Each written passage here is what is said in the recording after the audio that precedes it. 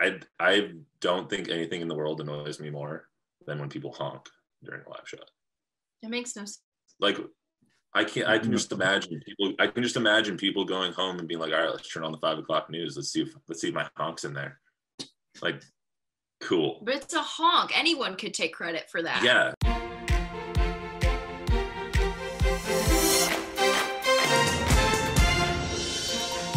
Hi, guys. Welcome to an episode of Broadcast Bulletin. I'm Jim Stanton. Jacob's not here today. He had a school project to work on, graphics to make for his newscast. So he's not here. You just got to deal with me today. It's my first interview by myself, but that's okay. Let's get right into the show today. Today's episode makes Broadcast Bulletin history because Matt Roy and Jordan Elder are our guests. But more importantly, it's more important because they're the. It's the first time we've had two people on at the same time. So not only are they both in the TV business, but at the time we're recording this in mid February, they are at the same station, Springfield, Illinois. But they're going to tell us today that uh, by the time you listen to this, that's not going to be the case. So we're going to find out where Matt is at now. And both are MMJs for the ABC affiliate in Springfield. And it's kind of a weird market, you know, Champaign's also in there and all that. But we won't bore you with that part. The two became best friends while working on their masters at Arizona State. So today we're going to discuss their special relationship and how they both ended up at the same station right out of school. They'll also talk about it's like being MMJ, why they both chose news, where they feel the industry is headed, you know, MMJ safety, because that's definitely been something of a topic lately and a lot more. So this new phase, which starts on May 14th, bridges the gap between phase four and phase five. Right now, the capacity at restaurants, museums is just 25 percent. John, we've been hearing from Springfield residents that houses often sit abandoned in neighborhoods for decades. This new bill would give the city power to reclaim more of those properties in less time. Nearly 11 months ago, the state shut down, but unemployment went up. Hundreds of thousands of people jobless almost in an instant, and some for the very first time. But when they turned to the Department of Employment Security to get the unemployment benefits as a safety net, the state quickly realized that the net was torn. People may look at those moves and assume that we're cutting from the fire department and adding to police, but is that really what's happening? In the chambers, I'm Matt Roy. Back to you, Marcella. Reporting in Springfield, I'm Jordan Elder. Back to you. So we're excited to have you guys this evening. How are you both doing? Good. We're excited to be here. Absolutely. Usually you guys only interview one person, and there's two of you, and now there's one of you and two of us. So I know. I know. Well, still three people, you know, so it's still a trio. So it won't be too monotonous, I don't think. But let's ask the first question. So, ladies first, Jordan, tell us about when you knew you wanted to get into TV news. So, the Spark Notes version when that bug first hit you up until, you know, your career now. I would say the news bug hit me when I was seven or eight years old. My babysitters uh, growing up in Kansas City would always watch Good Morning America when we were getting ready to go to school. So I would sit in the kitchen and watch with them, and I loved how much fun it looked like they were having. And I knew that I wanted that to be my job to do something fun every day, talk to different people, and make a difference and tell stories. Okay, so you knew up until college basically you wanted to do it. Yes. So I was such a broadcast nerd growing up. I did the middle school newscasts in high school. Um, I got really into it in college and was turning stories for our college news station. And I can't imagine doing anything else, honestly. Was there anybody like you watched on the local news there or national news that you're like, I want to be her or him growing up? Diane Sawyer was my first one. I know she she was the spark for a lot of people, but the way yeah. that she interviews and can be so compassionate but still press and get the answers that she's looking for. I really admired her growing up once I understood more about journalism.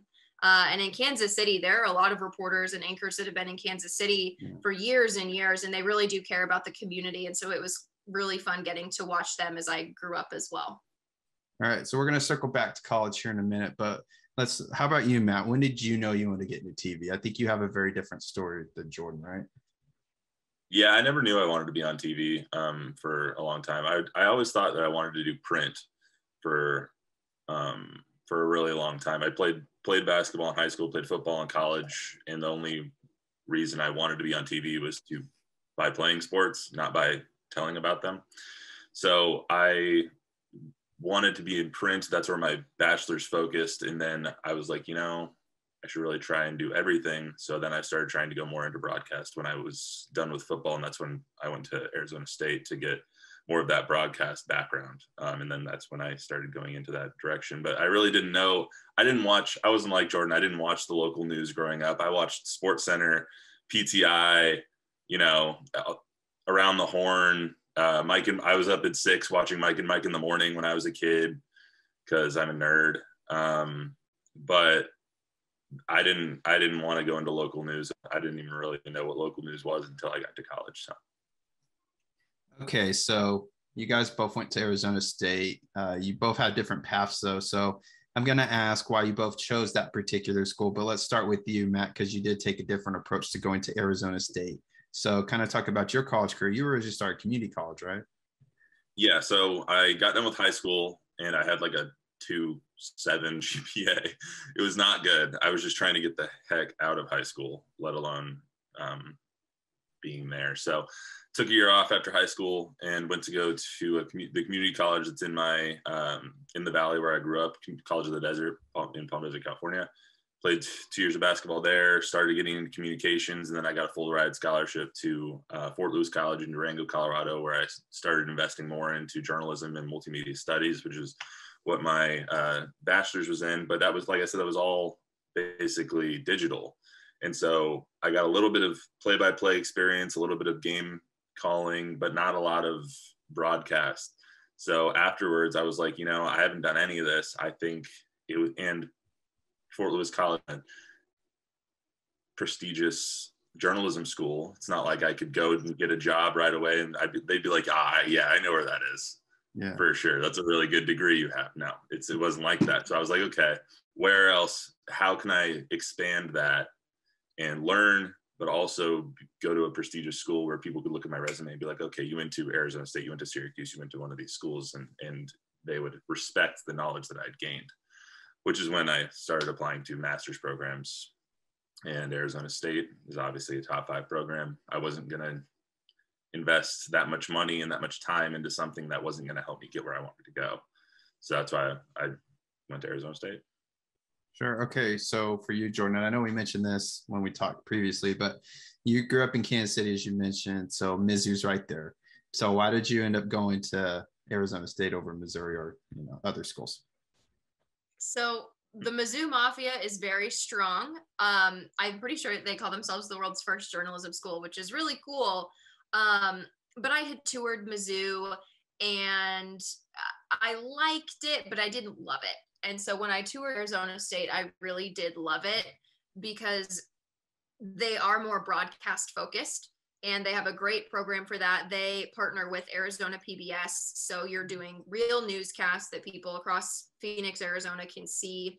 And there's a lot of mentorship involved in that. People who have come from huge news outlets across the country come back to teach there and uh, kind of give you that knowledge that they learned and I knew probably since I was a sophomore in high school that I wanted to go to Arizona State. And once I toured it, it was absolutely over. Um, I I knew that's where I had to go, and so did my parents. We had kind of talked about Syracuse, but my parents really liked that there were direct flights to Phoenix. There weren't direct flights to to Syracuse, New York. And with Mizzou, my mom really was pushing for me to go there, but I liked that Arizona State was such an inclusive environment for journalism. I feel like the industry is not at a place where they should turn people away. I think we need more people. We need all types of people. And Arizona State was very inclusive. If you knew that you wanted to do journalism, they would teach you. And they didn't try to weed you out or make it really difficult. They if you had the passion for it, they wanted you to learn. And I really respected that. And I think that our industry will be better for that. So I ended up going there for my bachelor's and my master's I did a three plus one program. So I was able to keep my scholarships for my year of masters and kind of really work on honing my TV presence, telling stories, and getting in before I went out into the real world. Arizona State's just second to none. Yeah, it's my, really great. In my opinion. Okay, so do you guys feel like because you have your master's, I know most people go from bachelor's or straight into the business. You feel like because you have your master's, it kind of gave you an edge over. Did you learn something from your master's that maybe you didn't learn otherwise? personal personally i felt like i needed one because i didn't have that broadcast experience so even if i went back to get another bachelor's i needed more experience in broadcast journalism because i didn't have any I didn't know how to edit. I didn't know how to how to dress. I didn't know how to write scripts. I didn't know how to do any of that. I basically learned all of that in a year and a half at ASU. So for me, I personally needed it unless I was going to go into print journalism, which is a dying industry right now. Yeah. So sadly, because print journalism is awesome, but I feel like it made me better. I don't know if I necessarily needed it, but it gave me more practice. Um, I got to do more stories and learn more things because I had that extra time mm. to do it. I think had I not done it at Arizona State, I don't know if I would have done one or if I would have waited a couple years to go back to school, but I am very glad that I did it. I think it's cool to be able to say that I have a master's, but I don't know if like long term down the road, I don't know if it'll make a difference to have a master's as opposed to just a bachelor's. Okay, so while in school, did you guys hold any internships and how do those prepare you for the job you're doing now? I had internships at 12 News in Phoenix. I was actually working on their lifestyle show because when I started out, I thought it, I thought that I wanted to be in entertainment news because I love the drama. I love the Kardashians. I love all that stuff. There are a ton of jobs in that though. Like there's not really like Kardashian reporters. So I transitioned into hard news. You'd from really good at that. I would be really good at it though, if anyone needs one. But I, uh, that's kind of how I started was on the lifestyle program. And then I also worked with Arizona PBS doing documentary style shows as well. Um, I worked, uh, I had a class that was, uh, the whole class was producing a documentary about teen suicide in Arizona. And then I worked on a program called Catalyst on Arizona PBS that has won so many awards for their work in science journalism and taking those really complex topics and breaking it down to the point where people can understand and care about what people are discovering yeah, I mean, I took a much different path, obviously. So I didn't really have any internships or anything like that because I was working 40 hours a week while playing football in college. And then when we, when I went to my master's program, I was working 40 to 50 hours a week while trying to get my master's. So it didn't, didn't really have time. but obviously, do you feel like not having one, it obviously didn't hurt you, right? I don't think it hurt me, but I mean, it's all, it's all just more and more experience. You go in knowing more than other people. But I didn't really know how a newsroom worked or anything like that because I didn't have that experience. But I mean, you get that as you keep going. So I feel like I, don't think I missed out on a lot of things. I missed out on making connections in those markets, um, like with 12 in, in Phoenix or 15 or any of those other any of those uh, of uh, any of those other stations you miss out on the connections with the anchors, with the news directors, with all that stuff. So later on, when you're ready to go to Phoenix, then you'll be like, hey, you know me. Right. So I don't have that. But that's kind of what you miss out on is the networking angle of it. Okay. So did either of you, uh, while in college, have an industry mentor? And would you say it's important to find a mentor? I did. Cronkite actually, when I was a freshman, set us up with people in the industry who were doing the jobs that we wanted to do. And my mentor, her name was Megan Thompson and for ABC in, in Phoenix. And she was awesome because she really did. She worked in local news, came back to Phoenix, which was her home market, and she really does have a passion for it. And she's very good at what she does. So it was helpful for me in the first few years to have someone to bounce ideas off of and kind of get advice. And we've stayed in touch throughout um, college and my master's and starting this job. I, I texted her when I got hired in Springfield, and she was really excited with me that it was like, oh my gosh, all your dreams are coming true. You're going to be a reporter. And so it, it, was cool to have that connection. And I have other, I would say that I have had other mentors over the course of, of doing journalism. I would shadow the journalists in Kansas City and kind of see what they did. And I think it is helpful, um, especially as you move up in the industry. But um, I, I've been very thankful for my mentors. I honestly, I really don't have any. I there's a lot of people that have helped me along the way with some advice here and there, but no one person that's that I've gone to repeatedly or one person that has kind of honed taken me under their wing or or anything of that nature. All of the professors at Cronkite are extremely helpful, and I text them texted them before I took this new job and before I took this first job. Um, but there's no real like one person that like been like, come on, I'll teach you everything you need to know, kind of stuff like that. Okay, you guys are now of school and you're looking for a job. So let's talk about the job finding process and how many links and applications did you end up sending out before someone responded? And did you guys also engage with any recruiters? I guess Matt can start because you started first. Um, the market right now is, I guess it's a seller's market. People are just looking for people. So because there's so there's so many job openings and so many really good markets right now. Um, so if you're looking for a job, this is the time to look for one. Um, so honestly, I posted my reels. I have three different reels: a sports, a reporter, or sports and MMJ, and then an anchor reel. Posted all of them on YouTube, and it people reached out to me. News directors saw it, reached out to me, and then would and then I would kind of come through that way. Um, for a few, I think like ten to twelve reached out to me that way, and then there was a, also a couple where some other MMJs here in, in, Springfield would be like, hey, we have an opening in another market. They've reached out to me. Maybe you want, might want to reach out to them. Um, and then also through the Sinclair market, I they they have kind of a system of upward mobility where you can reach out to other Sinclair stations. And that makes it a lot easier. So I applied to maybe five or six different positions within Sinclair. Overall, I only applied for five jobs, but I had like meetings and like first interviews and like basically face to faces with 12 to 12 to 15 um, just trying to find out what their station was about what the pay all that and positions all that stuff. But the market right now it, it's definitely on our side of it not on the the news director side of it just because so many people need reporters and, and anchors and staffing right now then you started in Springfield in February 2020, so just right before COVID. So your whole career has been COVID. What has it been like? Yeah, I think my so my seventh day, my first day here was the February 24th, 2020. Um, first COVID 19 case here in Illinois was like January 26th of 2020. So like we didn't really didn't know about it yet. Um, but like I think it was my third week right before St. Patrick's Day when everyone was like, all right, we're shutting it down everything's done. And so St. Patrick's Day parades, all that stuff got canceled. Everyone was freaking out. Um, it was it was interesting because like I I don't know reporting in a non-COVID time right now. Yeah. So it's going to be really interesting as we keep going forward how it, how the news world transitions back to normalcy instead of how does this relate to COVID and does this have a COVID-19 angle? So it's been it's been interesting. I mean, my seventh day here, I reported on a plane crash, and I think I from what I remember, that's like my last non-COVID story. So. Okay, so Jordan, you started at 20 in June of 2020. So, how did you land first of all in Springfield? Did Matt kind of help you with that?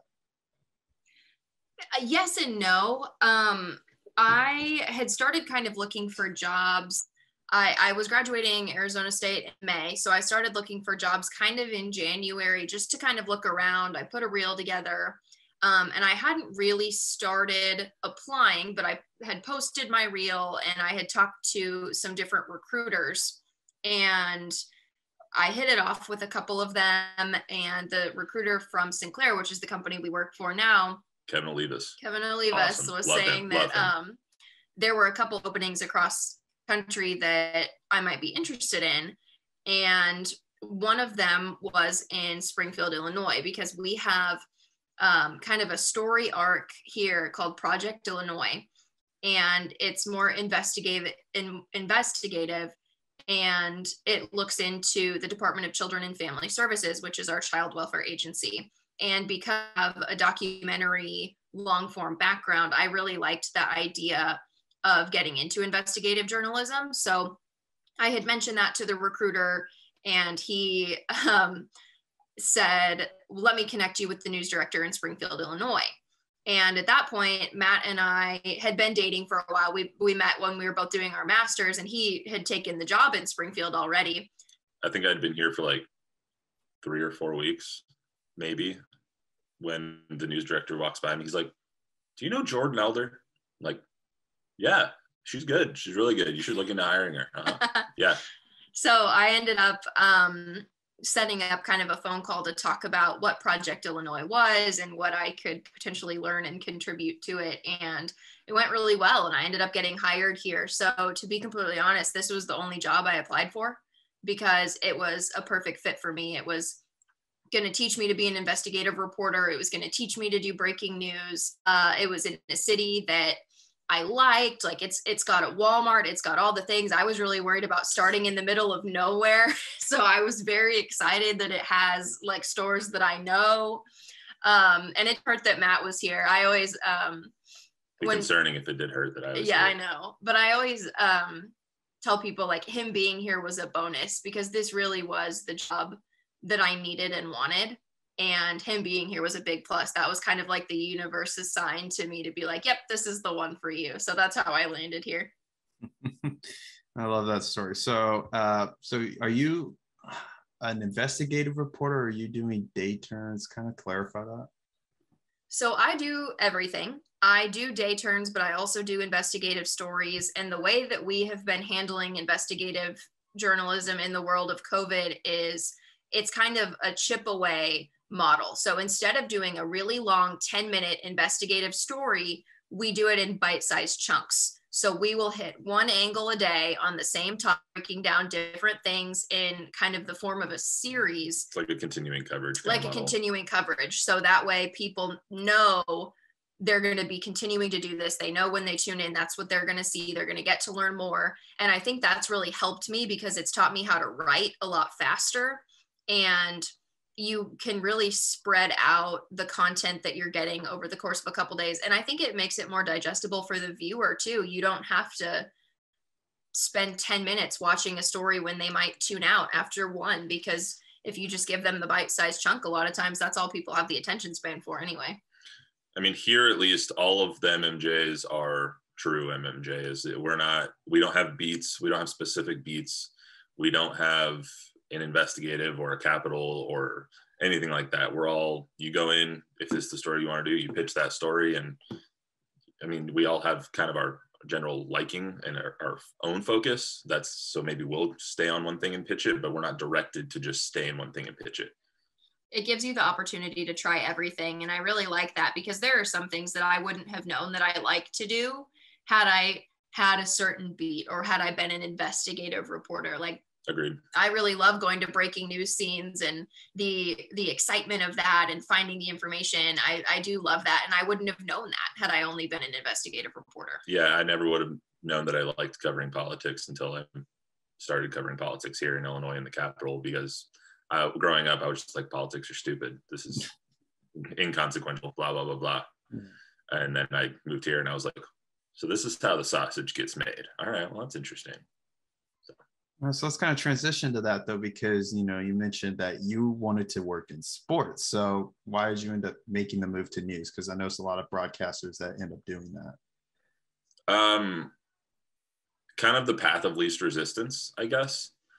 Um, there's a lot of people who want to be in sports, and there's not a lot of people that want to be in news nowadays, even though there's a bazillion news jobs and not a lot of sports jobs just for like an, an example in our master in my master's class there was 37 sports uh, kids 30 as a cohort.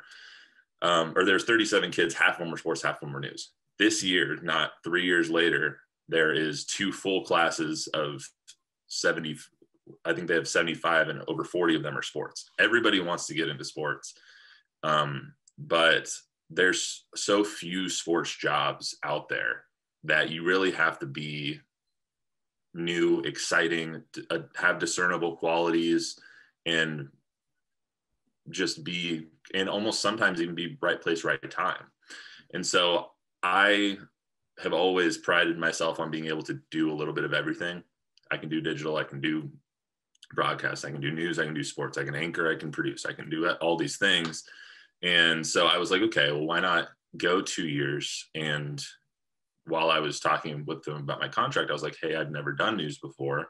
They're like, okay, that's fine. We'll still let you have your hand in, in sports um, when there's a sports story to come up. And actually, it worked out really well because because of COVID, so many sports and news stories crossed, cancellations, masking in, on the court, masking on the field, not being able to play, mental health of athletes, all that stuff was able to cross over. So even though I switched over to news, I still have my hand in it. And that's really where my passion lies is with sports. But long story short, I went into news because it was the path of least resistance. It was a way for me to get my foot in the door and maybe switch over to sports later on, maybe not, but at least I was in the industry and having that experience.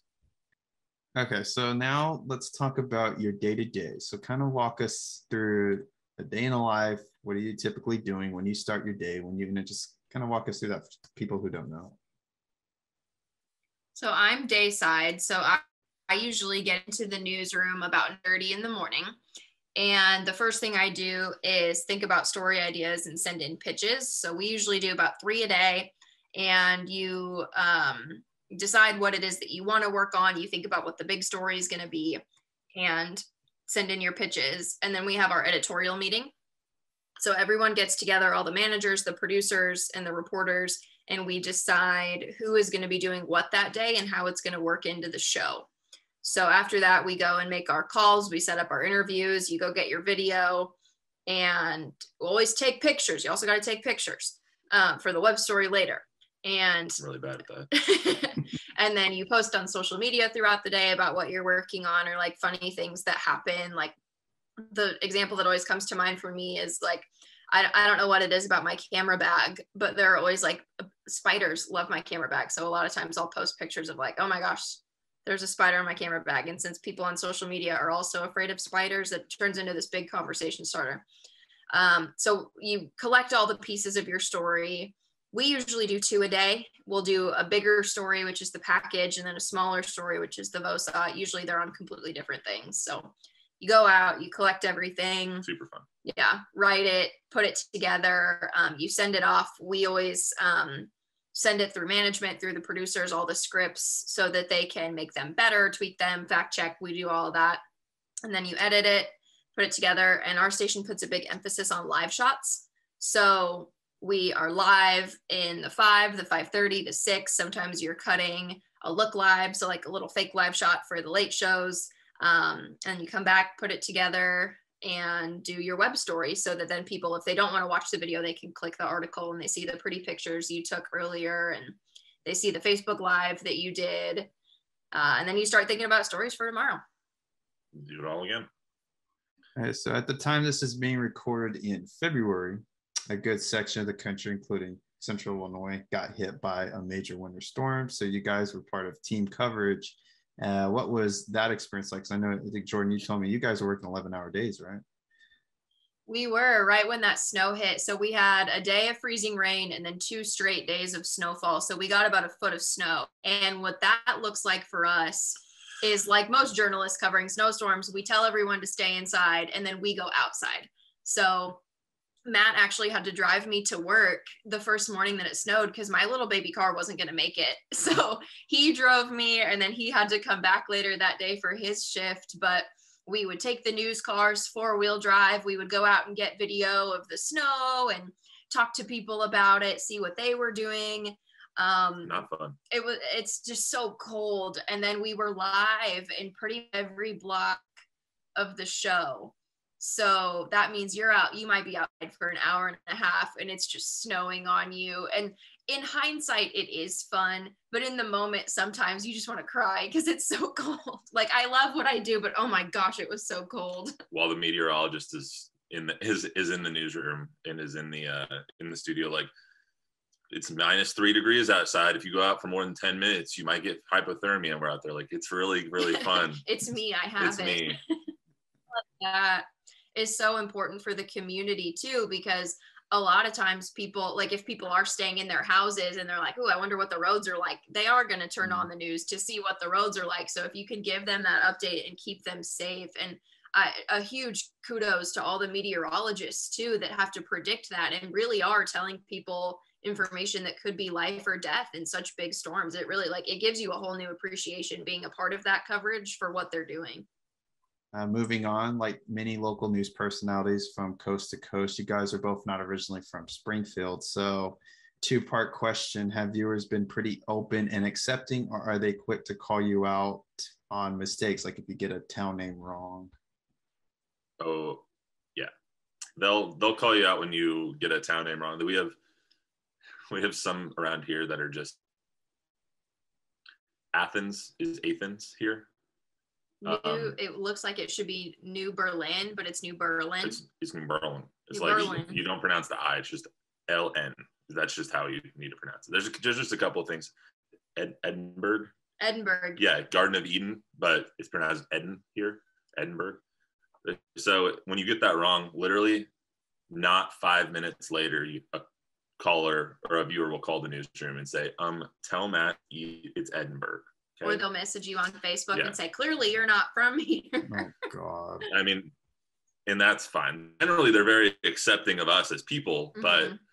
get the names of the damn towns right, apparently. So yeah for the most part i feel like the viewers have been really um really kind and accepting of us specifically we um when we got engaged we made the decision that we were gonna be open about it and post about it and let people and the response to that was incredible. People were so nice and saying congratulations uh, people will check in they'll message me on facebook and say like how's the wedding planning going? When are you getting married? Can we see the dress? And like it's people really do care about your personal life. And i think that that's that's really sweet because when you move to towns like this for journalism you really do have to make it your home for however long you're here. And we're very lucky. We do have a lot of viewers who did want to make this home for us It's great. And that's something I do definitely want to touch on and we'll get to here in a second. But something else I was kind of curious about, you know, being in a new market you're not from originally, has it been hard to kind of find sources for stories? it started out, starting out, yeah. Um, building up the source Rolodex, um, for lack of a better term, was a challenge at first because you don't know anyone. So you have to rely on reporters that had been that have been here for a while or anchors that have been here for a while your news director your uh, your assignment editor um, anybody like that to be like okay who should i call for this story? Do you guys know who the mayor is? Do you know who the county clerk is? All this stuff. After a while you have people's cell phones and you can just call them. Like i can call the mayor right now and he would probably be like man what's up after that's after being here for two years for the first like three or four months you're just like i have no idea who any of these people are and Mhm. it scares me and you definitely have to work for it i feel like especially um, with some sources they want to make sure that you know what you're doing and that you're not going to burn them and that you're going to do your job responsibly and so you do have to kind of prove yourself sometimes to make this but once you do um, once you do it's definitely i feel like you know that you're doing a good job of that when over the course of the time here, people have people have one been mad at you and two praised you for your for the work that you've done on the on kind of the same subject, and they've been like, "That's not true," and then they've been like, "That's really true." It's kind of like, okay, well, I was fair to you then. Mhm. that's what i think what people look for is fairness because obviously if you're doing something wrong there's there's going to be coverage about it that doesn't look very good on you but Mhm. as long as it's fair and you give everyone the chance to say their piece then. Usually they're okay Do you get viewers that are like, call you guys out? You guys are like fake news, or you guys are biased, or they blame the media? Some people don't even listen to what you say. Some people just see Fox on your jacket and they're like, "Ah, this guy's a jerk," obviously.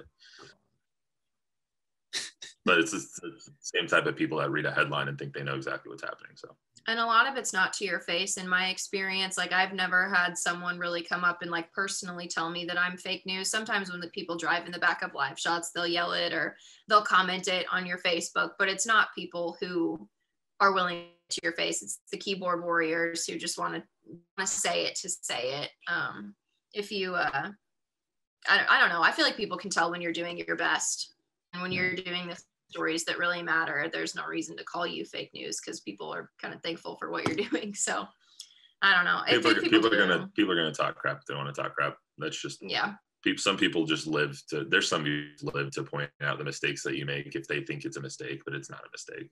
Some people that live in a in, that live in a town for 30 years that only see something one way, and really it's a new set of eyes seeing it a completely different way. That's actually spreading light on it, but they don't see it that way. It's just not everyone's going to agree with what you do. So, what is your message to someone who might be listening, like a viewer, whoever, who accused the media or local news of being biased? my message for everybody who says even utters the terms fake news is you can say what you want about national media and national syndicates, but local news, local reporters, literally not that. we're just we're just trying to tell local stories and provide our content and your guys' content to you.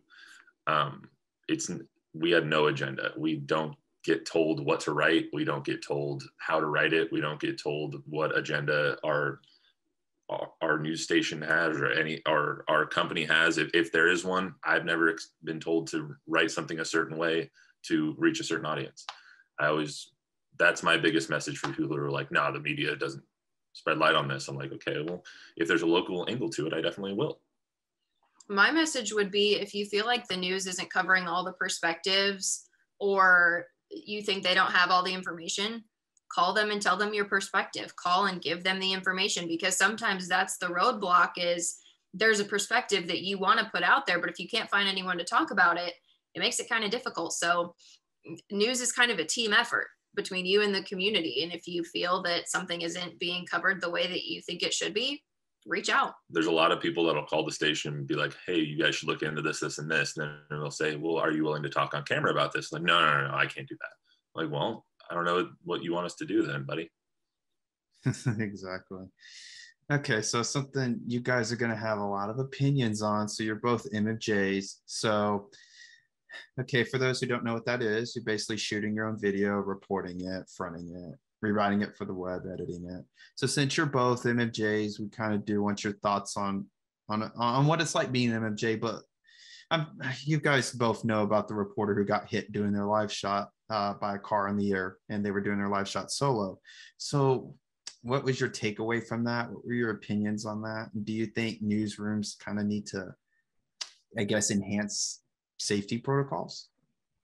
So, one thing that I think we should just say right off the bat is our news station makes it a priority that for any time that you're going live, you have a photographer with you. We're very lucky with that. We are very lucky. It's for safety. It's been that way since we both started. It'll be like that after we leave because safety is a huge, huge deal to our management and I, I can't imagine it any other way like we we are mmjs in the sense that we will go get our own video we do our own interviews we put it together for the most part you are a one man band but if you are going to be live in a situation where you can't fully be aware of your surroundings, someone else is absolutely with you. And even sometimes just going to get video. If you're in a part of town that's not great, or if you're nervous about going to do something, they will send another photographer with you, or at least just another person so that you have someone kind of watching so you're not alone.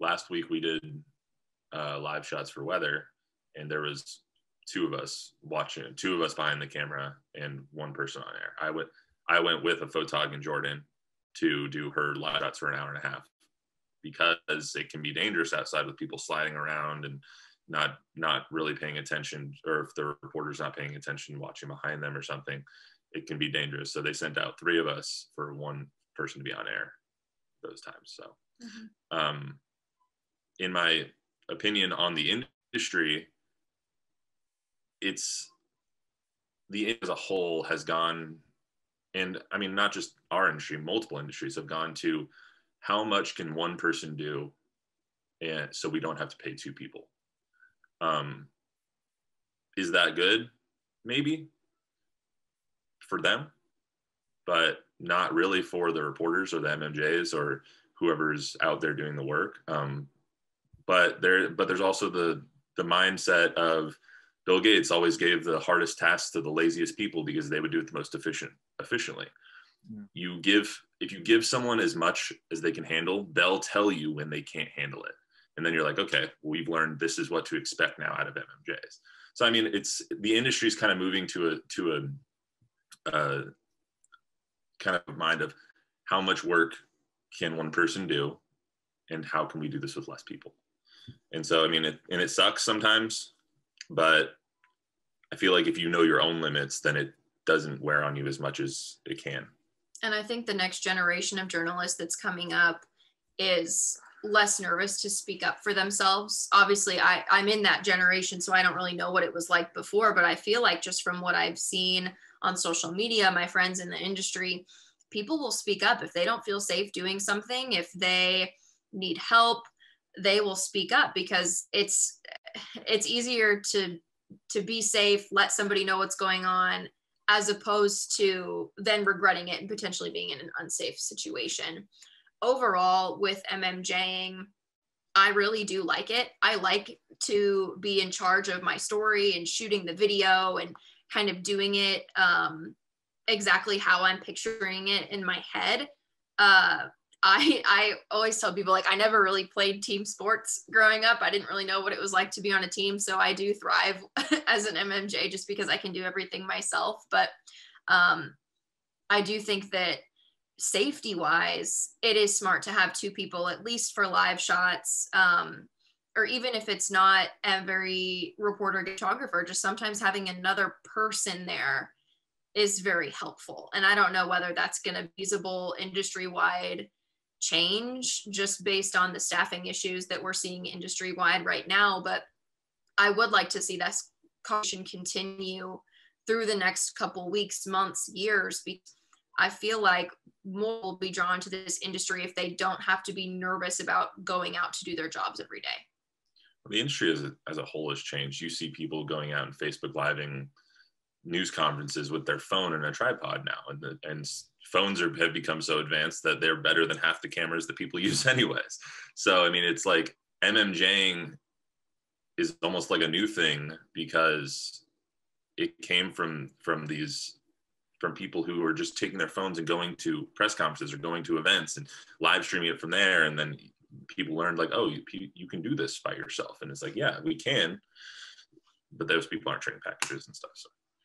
It was a good conversation starter i think. And i i am so so thankful that she was okay because i feel like this would be a different conversation um had she not been okay. And i i'm i'm really glad just like my fellow mmj sister was okay with that. But um yeah that it was such a crazy situation and then last question on the topic why do you think there's a there's many people in the industry who do not like mmj i know quite a few because it's a lot.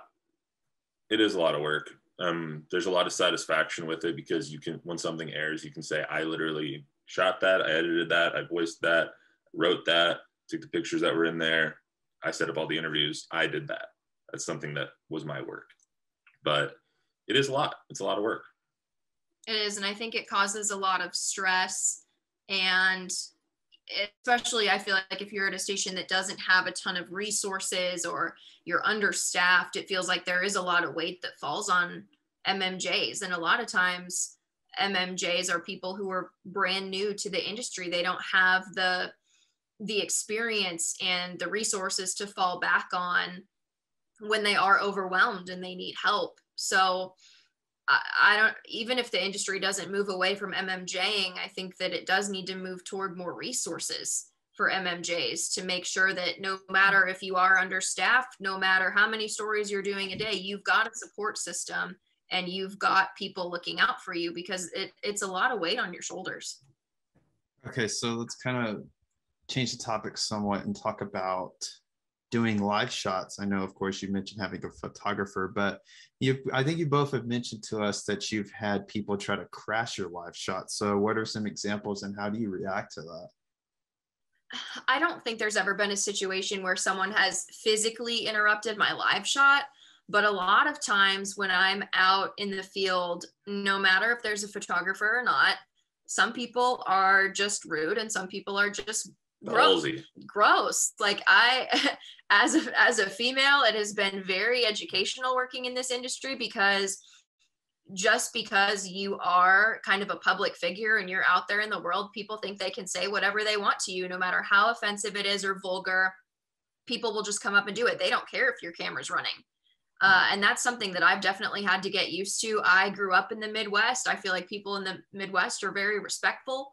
Um, but I have had some pretty disrespectful things said to me just doing my job. And that's something that other industries don't really have to worry about as much. Like, I feel like you don't have to worry about getting catcalled or touched or like just people interrupting you doing your job and other things. Like, there was a t- I was shooting in a location that I thought was going to be completely safe. There was no reason to think that it was going to be anything bad. And this man came up to me. I was just shooting video of a building and this this homeless man came up to me and said, "Oh, you're that girl from the news," and tried to grab my face. And so I immediately pushed away and I grabbed my camera. I was out of there.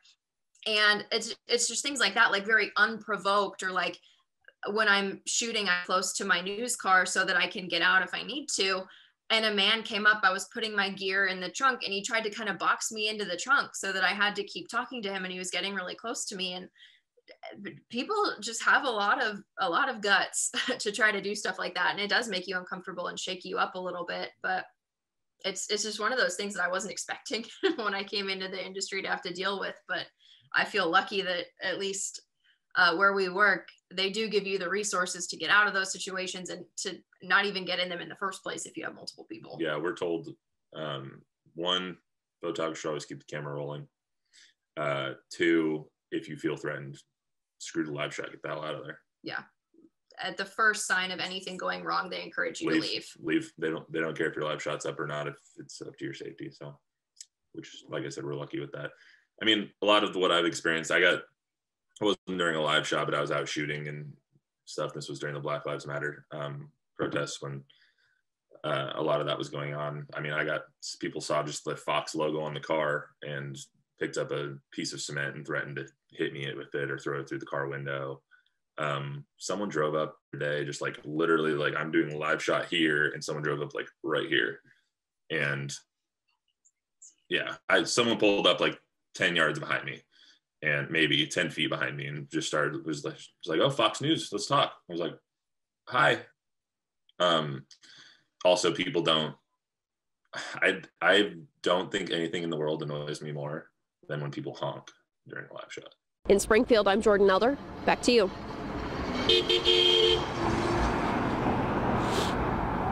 It makes no sense. Like, I can't. I can just imagine people. I can just imagine people going home and being like, "All right, let's turn on the five o'clock news. Let's see if let's see if my honk's in there." These surgical masks actually contain a type of the material that's running low. It helps filter out germs and virus particles, which is why it's so important. Okay.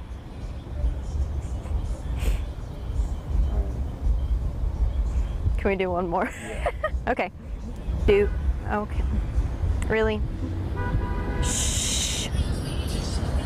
Okay. I'm gonna punch that guy. For what? Three, two, one. These surgical masks actually contain. Nope, that wasn't it. Three, two, one. Like, cool. But it's a honk. Anyone could take credit for that. Yeah, I mean, also there was there was one time I was at the uh, on the north end of town is the Illinois Department of Corrections, and I was doing a live shot there, and this one car drove by, and then I saw the direct coming. Then they went around and they came by again, and this time window was rolled down, so I was like, ah, here we go. So they yelled, "F her right in the." Sorry, um, they yelled, they yelled that, and I was like, okay, like we weren't live yet. We were five minutes before live shot. I was just set up.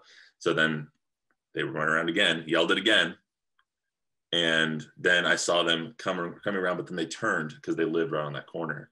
And so I did my live shot. They didn't know it wasn't on air or anything, but I did my live shot. We were setting up, and we were just like getting back in the car for the next live shot or to to pass the time before the next one. The two kids, they were teenagers, came by and they were like, "Did you guys hear me?" I was like, "Yeah." He's like, "Was it on the news?" I was like, "No." He's like, "Ah, but it was funny, huh?" I was like, "No." If you have to ask if it was funny, it's not funny. No, you're just an idiot.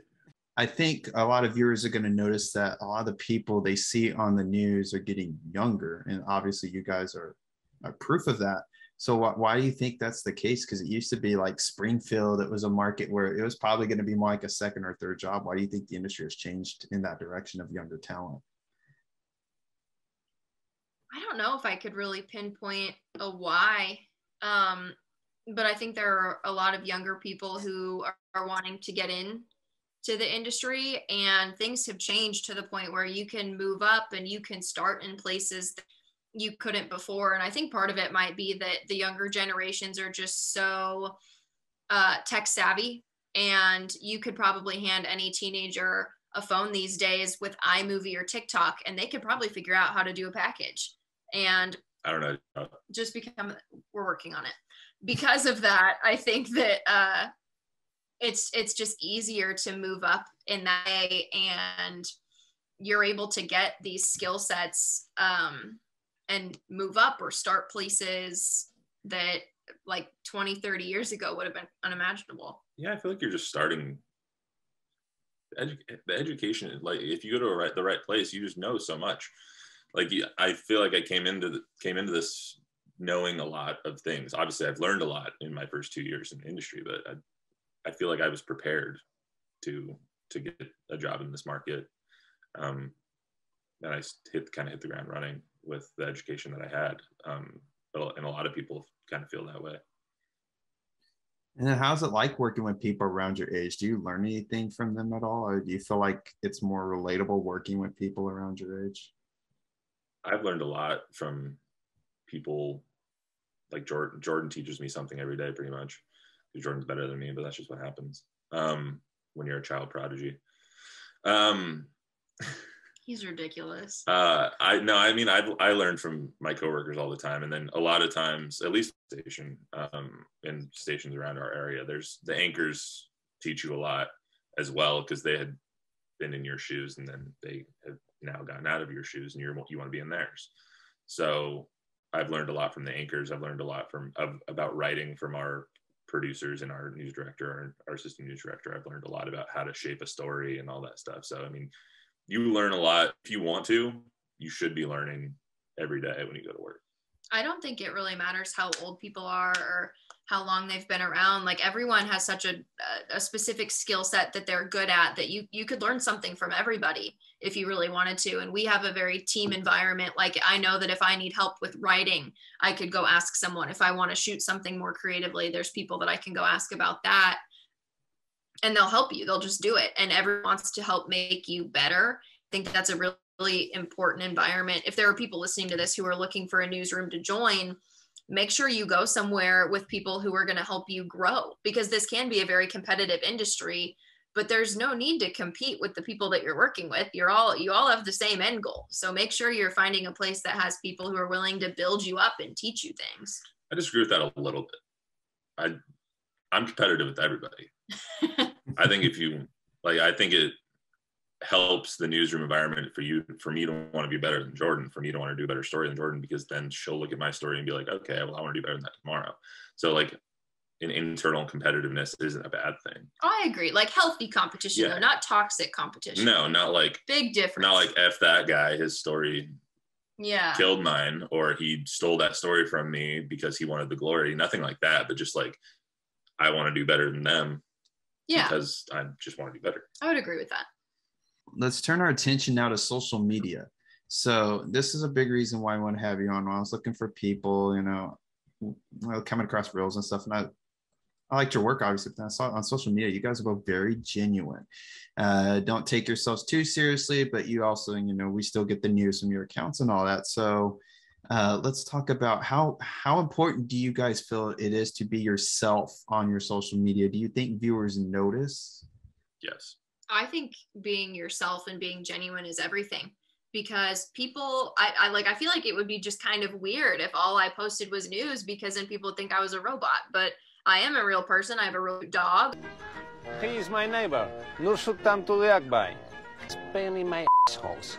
I get a window from a glass, you must get a window from a glass. I get a step. I'm a really awful cook. We have not done a cooking with Jordan in a while, and so I figured what better night to do one than when I'm making something that I have literally never made before and that I'm probably going to do a lot of guesswork on.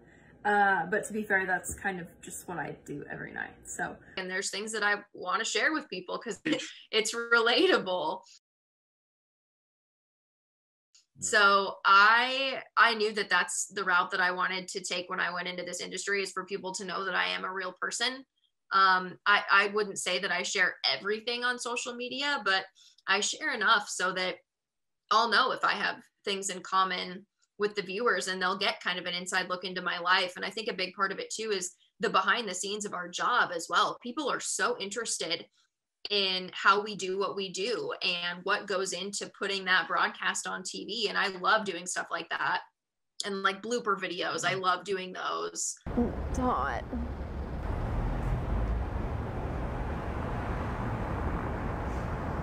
Like a rotisserie chicken.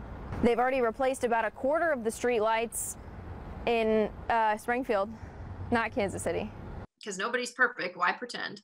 I just love I that. mean, one thing that I it kind of stuck with me. I watched, like I said earlier, I watched Mike and Mike for a long time for, for during their 20 year run um, TV. And one, one thing that I always admired about those two guys was fam- family was a big part of their show and bringing in the family, being relatable and knowing who they were and why they do what they do. And I feel like I was just like, I really connected with that because it was such a smart way to go about one being a TV personality, but two being a genuine feeling like who you're watching is a genuine, nice human being. And and I mean that's just one thing I always wanted to do when I was if I became a personality or if I became a, a reporter or whatever I was going to do. I'm not a closed off person in general anyway. I tell you tell anybody anything that they want to know. So I mean I social media for me was just like, okay, well, if people are interested, then let's let, let's tell them who I am. So, like I mentioned uh, earlier, you guys are obviously very positive. So, how do you man- how do you manage to stay upbeat and positive, especially with everything happening in the industry and some of the stories you have to cover? I know you're like going out to fires or shootings or stuff, right? So, does that ever get to you, and how do you avoid, you know, feeling burnt out?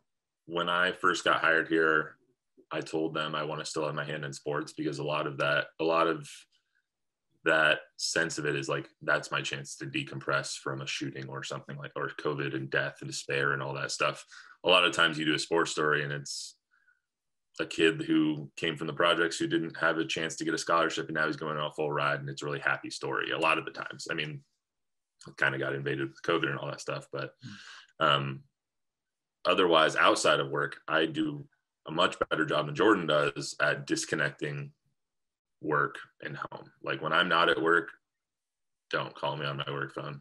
It's not it's just not going to happen. I'm just not in that zone i'm not in that frame of mind maybe if i see a press release or something i'll send it i'll send an email out but i do a much better job at disconnecting from work while i'm not there and that because that's my chance to recharge I'm not very good at that. And. I'll, I'll absolutely admit that. It's just one of those things. I am working on it because I know that's not sustainable long term, especially with with the industry that we're in.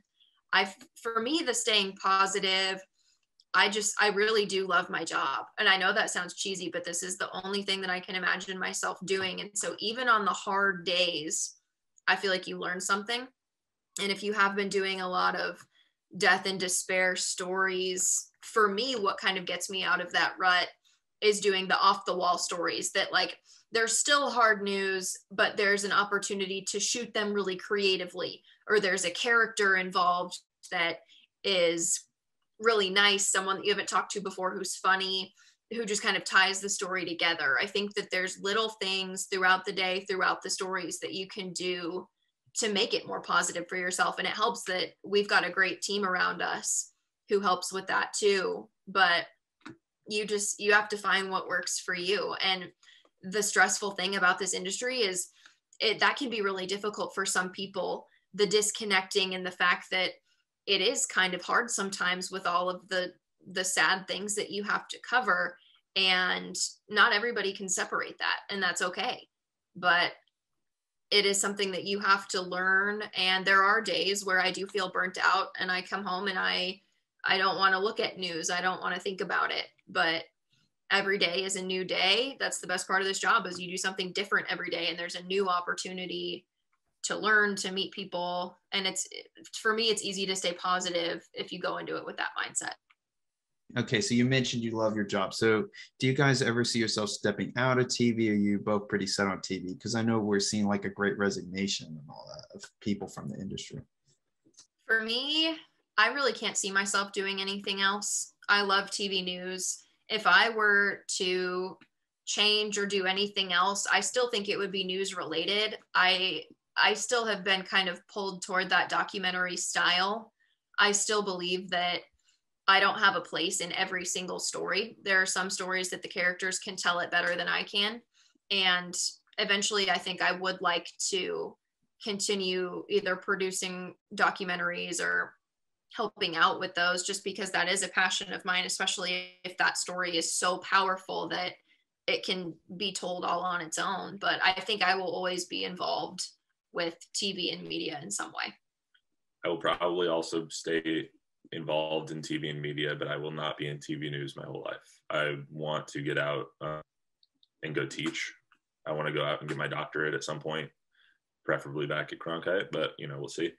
Um, I wanted, I don't know. I feel like I have a passion to teach people what I have learned and how I can help them mold the next, or how I can then help mold the next generation of journalists. Um, and that's something I really want to do when I get older and get the experience to be able to impart that kind of wisdom on on them. Plus, someone's gonna have to stay home with the kids while Jordan's are out conquering the world, so that'll be a little easier guys are both very young in your early 20s. So, do either of you even watch local news outside of work? And why do you think people from your generation are just avoiding local news at all? It gets a bad rap. News media in general just gets a bad rap. Plus, there's a there's so many other forms of news that or so many other forms of media that aren't local news now that are more um, fun. Not, I'm not going to say fun, but like that's the term that's coming to mind is fun. Like just for example, there's a new sports con- concept in Phoenix called PHNX, and it's just a kind of an off the wall, different storytelling, different way of giving people sports news in, in Phoenix. And they have one in Denver as well.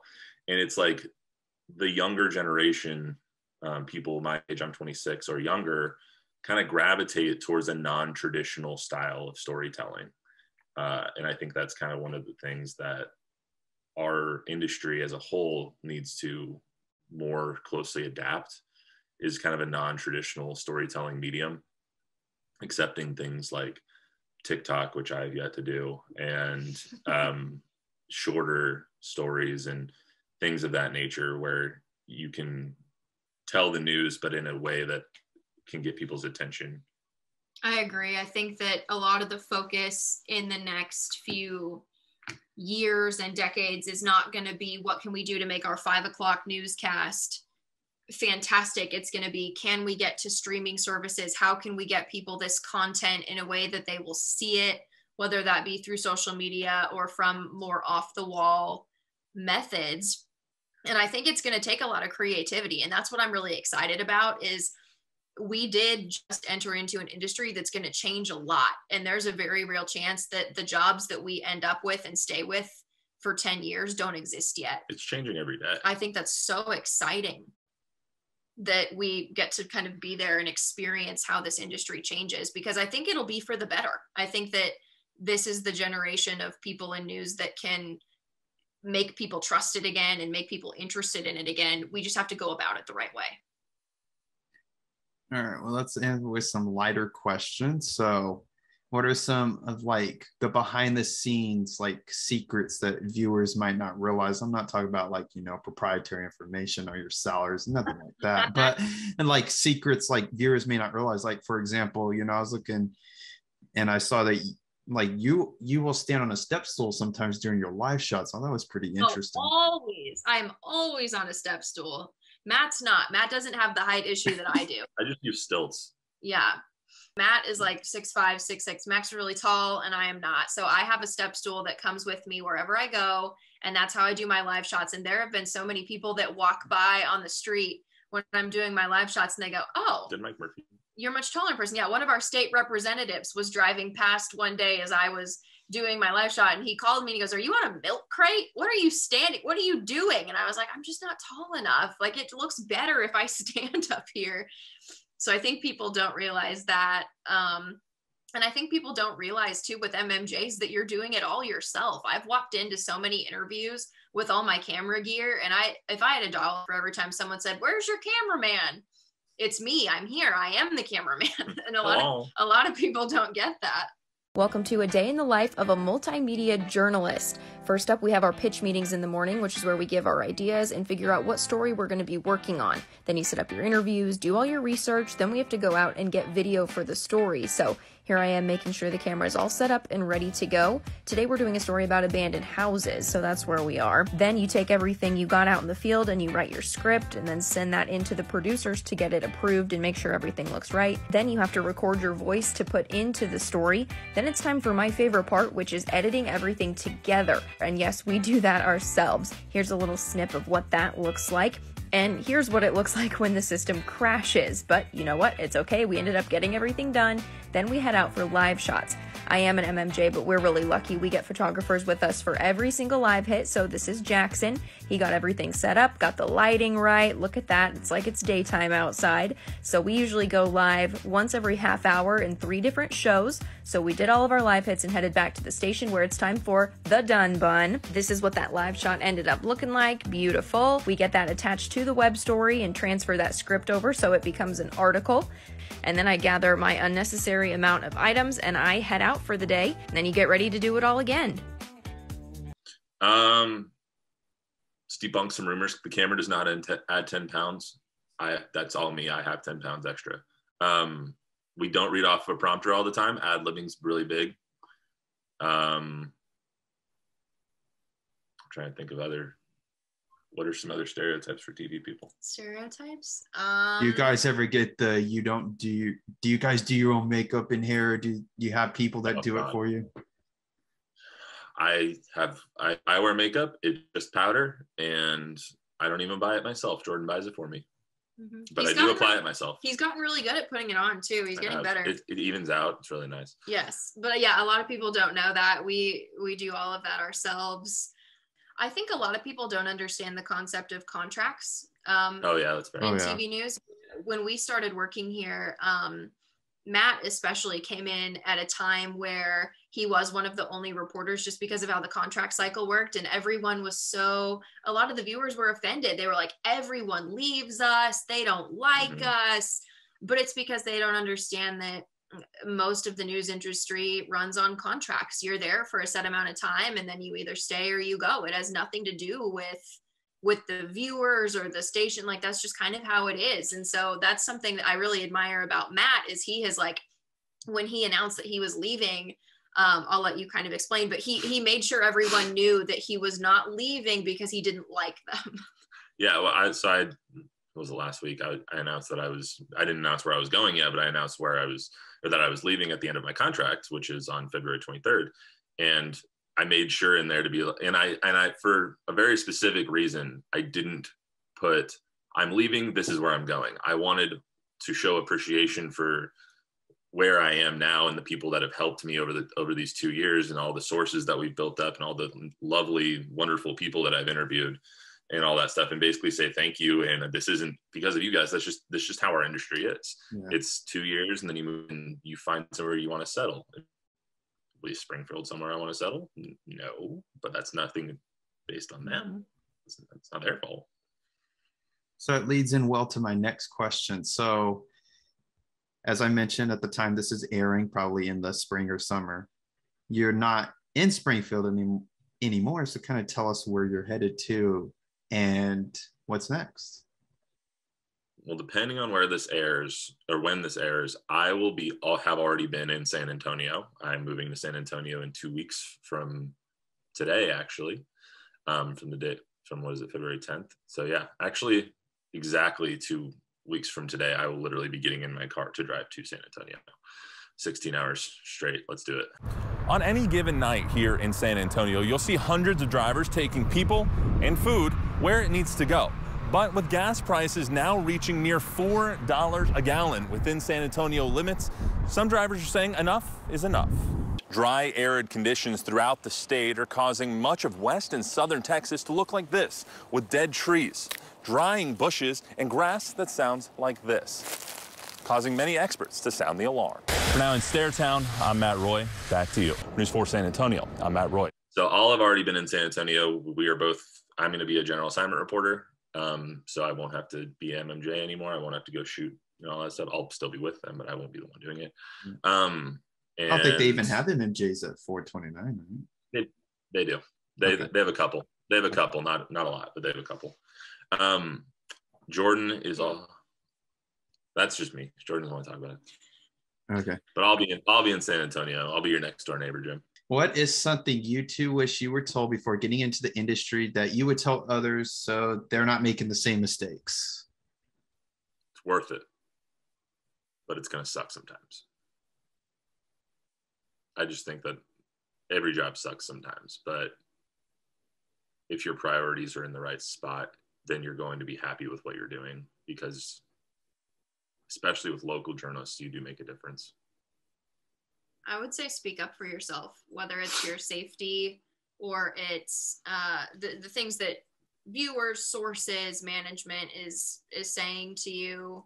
You have a voice. You are the voice for your community, but you're also the voice for yourself, and you need to to speak up if you need help, because that's the only way that change will get made is if you speak up.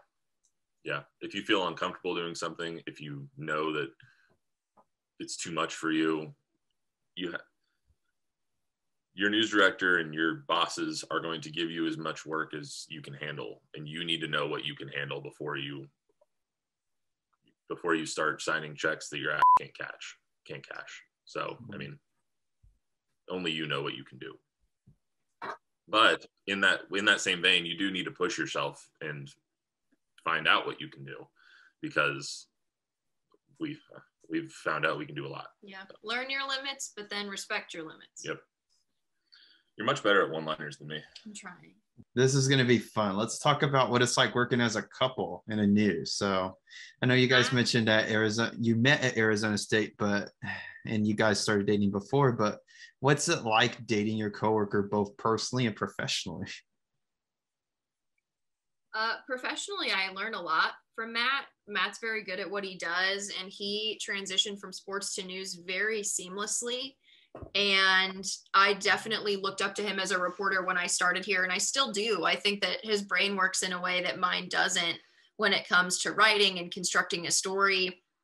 And professionally, I like I feel really lucky that I get to work with him and learn from him uh, where we've never been on the same shift. We don't Mm. usually work very closely together, but it is cool to be in the same newsroom. in that same vein we learned very quickly that we shouldn't work the same shift Yeah, and mind it. Matt didn't like working with me, i need my i need my i need some space which is fine.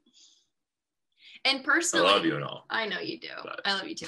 But personally, it, it's nice to have someone who understands it. Like if I have a bad day because of something a source said to me, or if a story didn't pan out exactly the way that I wanted it to, Matt completely understands and he gets it. And I can use all of my journalism slang and he knows exactly what I'm talking about. I can just go riff about like B-roll and packages and VOSOTs and he he follows me, which is nice because my family does not. and there's i mean there are some like negatives i guess because so much of your life does revolve around work especially when we work separate shifts. She goes in at 9 30 she gets off at 6 30 i get I go in at 1 uh 1 30 get off at 10 30 by the time i get home we get like an hour together and then go to sleep. Um, and so much of our conversation sometimes is directed around oh how was this source today? Who'd you talk to today? How was your story today? Blah blah blah blah blah. So sometimes it's nice to just be like all right let's talk about one thing that's not news channel 20 fox illinois or some something involved in media. In which case then jordan says did you tristan thompson's a jerk? Or that kylie jenner did this today. And then i'll just be like all right we can talk about work again. It's fine. Kylie Jenner had a baby. It was big news. she called me on the golf course one time like three times at just in a row. I was playing golf with my buddy aj who's morning anchor here three times in a row. And i'm like i was just about to tee off i was like aj can you answer this? It's probably important. I'm but i need to tee off. And so she he answers. He's like hey are you okay? What's going on?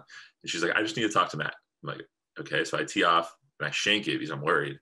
And so i go over to my phone. I'm like are you okay? She's like the baby's his or something of that nature. I was like what? Tristan thompson it's his baby.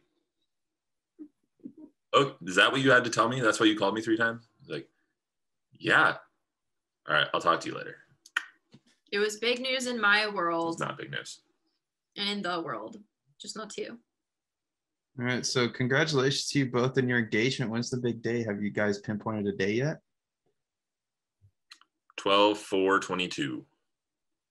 Yeah. So end of this year, we're gonna do a winter wedding, and we're gonna we'll get married in Kansas City, which is where I'm from. Because at the time that we got engaged, we didn't know where we would be when we got married, just with the way that our contracts were, and it's very difficult to plan a wedding when you don't know where you're gonna be living. So we just Yeah. pinpointed Kansas City and said, let's go for it.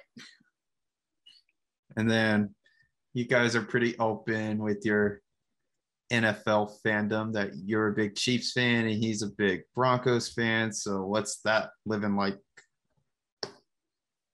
Well, lately it's great for me because my team is really good.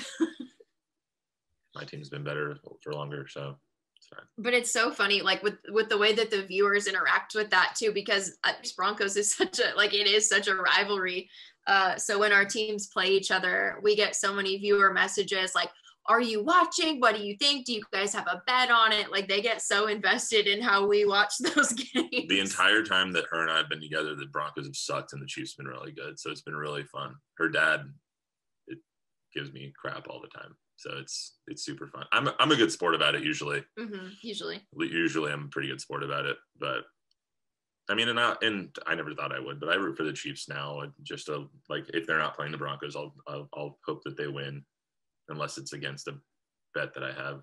But you know, And then you guys are both currently in Central Illinois. So what are some things or places you miss back from home that you can't get up in Central Illinois in Springfield? the weather. I was gonna say- I'm from Southern California. It's it's like 60 degrees, 65 degrees and sunny today. there's no snow coverage There's in no Palm snow. Springs. There's 119 golf course. There's 119 golf courses there. They've had the uh, and then in Phoenix, it's they're having the waste management right now, which is probably the most fun golf tournament I've ever attended. So it's those are the things I miss. Is just probably the weather. So the Mexican food actually too, because it's phenomenal down there. But I miss the barbecue in Kansas City. I miss a barbecue in I Kansas really City. I really do.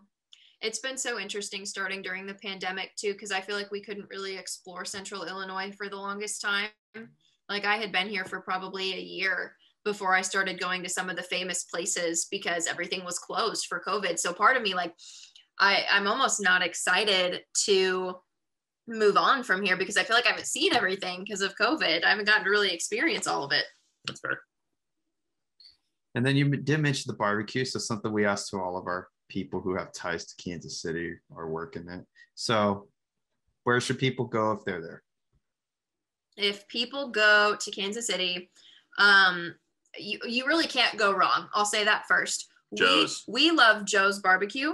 Um, it looks like a gas station, but it's a barbecue place and it is phenomenal. It's the best. We also love Q39.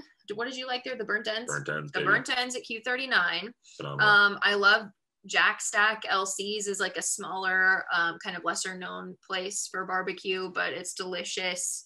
I just, you really can't go wrong. so good. All of it. It's just so good. hmm Matt was kind of skeptical at first I because was I was. I was hyping up Kansas City barbecue, and so then we started trying all of the places, and he was like, "This is incredible." It's incredible. Now let's play a little game before we go. It's just 10 questions. These are just basic questions about uh, just basically your background so people can kind of get to know you both better. Just tell us what your favorite color. Sparkles. It's not a. It's not a color. Yes, it is. Not a color. Green. All right, where are you guys born? Kansas City, Missouri, St. Luke's Northland Hospital. My mom will say Santa Clara, but San Jose, California. All right, how many siblings you guys have? Three, One. almost four, because I'm gaining his sister. Almost five. Almost four then, because I'm gaining her hooligans. All right, hobbies in your spare time. Kardashians, reading, coloring, Zumba. Mine pretty much all revolve around sports. Whether that's video, whether that's video games, watching, reading, betting, all of that. You guys have any pets? We have the cutest little mutt named Dexter. And he sheds like a monster, but he is so lovable. Come here, bud. Here, lure the camera. The listeners aren't gonna Hey, bud. Aw. Look at him. Hey, bud. We post pictures of him all the time. If the listeners If anyone does follow us him. on social, he's on there pretty much every other He's day. so cute. All right, favorite TV show you guys are not on. You showed me a five. Um, my favorite TV show of all time, Time Met Your Mother. I love. Keeping Up with the Kardashians. I love no, I love The Office more than I love Keeping Up with the Kardashians. But lately, I have been uh, Love Is Blind on Netflix is show. such a good show. Okay, favorite type of music. Country. Rap. All right, favorite movie. Forgetting Sarah Marshall. Tangled. You guys have a favorite book? The Running Man. Um, and then there were none by Agatha Christie. And then finally, what is one thing most people would be surprised to learn about you? I'm terrified of fish. Eating them, seeing them, Everything. everything. She I don't like. fish. I don't trust them. My mom had a fish tank. I'm really, I'm really into rom coms and like those reality TV shows. Most of them, not keeping up with Kardashians. My, I grew, up- I was basically raised by my mom, my grandma, and my sister, so I'm very in tune with rom coms and my sensitive side. Um, and then secondly, I had another thing in my head, but I forgot it. Uh-oh. Never mind. That's it. Anything else that we did not ask you that you wanted to mention? As difficult as the industry is and as much crap as media gets I, I wouldn't i can't think of being in another industry. I love telling stories. I love talking to people um generally.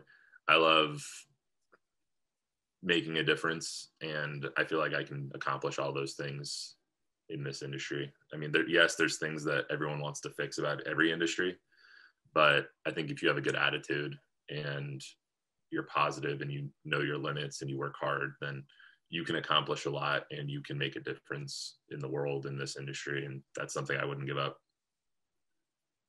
Well said. If anyone listening wants to connect with you on social media, where do they need to go to do that? Twitter and Facebook is at Matt Roy underscore TV. Actually, I think I'm on there on Instagram too, at Matt Roy underscore TV. My Twitter and Instagram are Jordan Elder TV, and my Facebook is Jordan Elder TV as well. And my TikTok is Jordan Elder TV. We're working on that one. I, don't have TikTok. I refuse to download TikTok. Expect big things from the Jordan Elder TV TikTok. I've been featured on her TikTok, but I refuse to download the app. He watches Instagram Reels. It's so annoying. He'll like watch the TikToks two weeks late on Instagram Reels, but refuses to download it. Okay, here's my logic. There's it's not logical. It's literally logical. Every single time I'm like, no, I, I watched Instagram Reels. People are like, it's the same thing. Thank you. It's the same thing. Why would I download another app? I this refuse. is one of our biggest arguments, and we're airing it out for your listeners. TikTok and Instagram Reels. I refuse. Well, we don't want to put any more of your secrets out there for our listeners. So we just want to thank you guys so much for joining us today. We really appreciate you guys are awesome. Great interview. I love what you guys are doing here. It's so cool. Agreed. Thank you for letting us be part of it. Thank you. Absolutely. And thank you for joining us for Broadcast Bulletin. New episodes are out on, I don't know if it's Thursday or Monday, but we're going to have them out sometime every week. Starting next week, we'll start new episodes on Apple, Apple Podcast, Spotify, and others. See, I'm doing really bad at this because Jacob's usually the one who closes us out. If you're listening on Apple Podcast, You're killing it. Thanks. If you and see, I always wanted to be a producer. I never really wanted to be on air, but anyway, if listening on Apple Podcasts, leave a five star review. Uh, that way, more can find the podcast because not a lot of people know about it. Uh, and then we're on YouTube because we do have video. If you want to see how all of us look, we do have a video version at youtube.com slash broadcast Bulletin. So we're on there. Please You want it? subscribe. Website is broadcastbulletinpodcast.com. Instagram's at broadcast bulletin, and the latest information news is going to be on there. I'm Jim Stanton. Jacob Brooks is not with us, but thank you for listening. See you next time. The views and opinions expressed by the guests in this episode of Broadcast Bulletin are solely theirs. They do not reflect those of their past or present employers, nor those of Broadcast Bulletin or its hosts in any way.